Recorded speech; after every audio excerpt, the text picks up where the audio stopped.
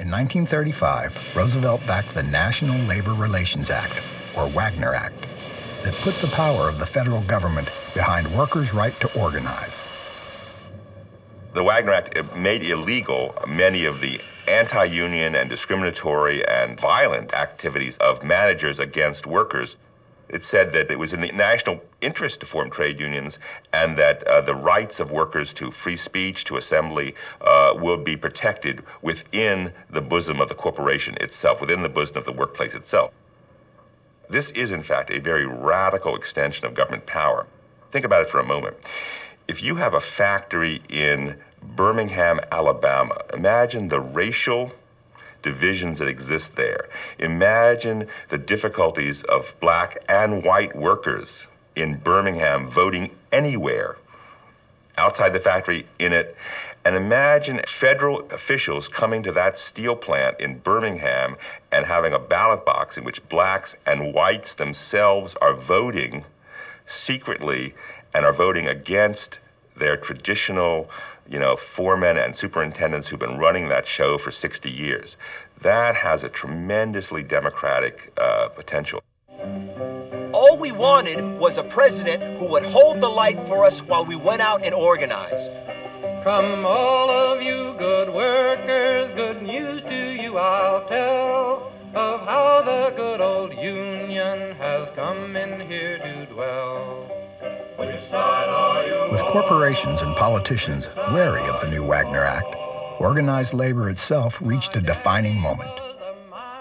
Long dominated by the skilled craftsmen of the American Federation of Labor, a new mandate was proposed to organize all workers together, skilled and unskilled. It's one of the famous moments in American organized labor history. 1935 convention, John L. Lewis was this big, burly guy with his wild hair and kind of one giant eyebrow across his forehead.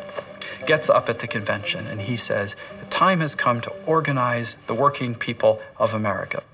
President of the Carpenters Union gets up and he says, John, nice speech. We're not going to do that. We've never done that. We're not doing it now. Now, John L. Lewis is a reasonable kind of guy. He just hears an opposing opinion throws himself at the president of the Carpenters Union, hits him in the face.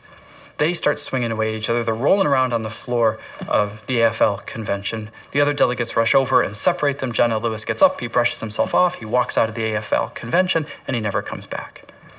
He then forms a new labor federation, the Congress of Industrial Organizations, the CIO whose sole purpose is to organize the major industries of America, which means organizing unskilled workers. This union maid was wise to the tricks of company spies. She couldn't be fooled by a company stool. She'd always organize the guys. She'd always get her way. Though the first strikes were planned for the steel industry, workers at the General Motors plants in Flint, Michigan jumped the gun. What they decided to do was stage a sit down strike. In other words, what they did, instead of leaving the plant, they sat down right inside the plant and they said, We're not leaving until we get the union recognition from General Motors that the federal government says we have a right to have. And that's a dramatic thing to do. But it also is, it's an incredibly good tactic because it means that General Motors can't run its plant. And suddenly, this huge General Motors empire that stretched all around the United States was starting to creak. It was having a hard time maintaining production. And finally, General Motors had no choice. And so in February 1937, they recognized the right of these workers to form a union called the United Automobile Workers. That was the largest industrial corporation in the world, brought to its knees by a handful of guys inside their plant. When that happened, the floodgates were open for the CIO. Fellow workers, we want peace and prosperity in this country here. That's what we're fighting for, and that's what we're going to have. Chrysler, U.S. Steel, and General Electric soon followed.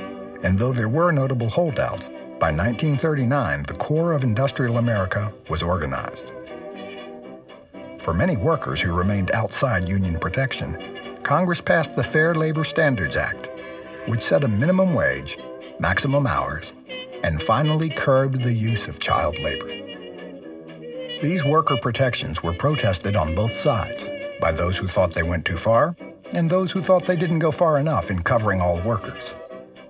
But for all its flaws, New Deal labor legislation forever altered the landscape between labor and business and the government's role in their relationship. When there's no question anymore that it's going to stay, American working life was utterly different. Ordinary people, for the first time, feel a direct connection to their government. They feel it's their government. This was a moment in time when the working class felt they had a stake in their government and their government had a stake in them.